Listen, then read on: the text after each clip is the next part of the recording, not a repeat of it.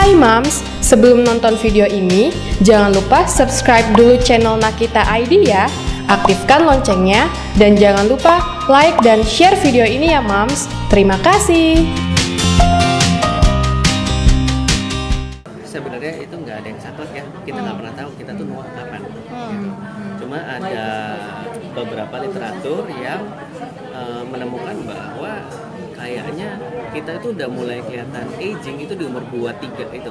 Laki-laki dan perempuan? Laki-laki dan perempuan 23 25 di situlah kenapa? Karena ya itu banyak sel-sel yang sudah lebih eh, banyak yang rusak dibandingin dengan yang bisa diperbaharui. Makanya mulai kelihatan eh, kerutan halus segala macam. Kalau sampai umur 20 gitu kan tingginya makan masih bisa nambah masih masih tumbuh terus gitu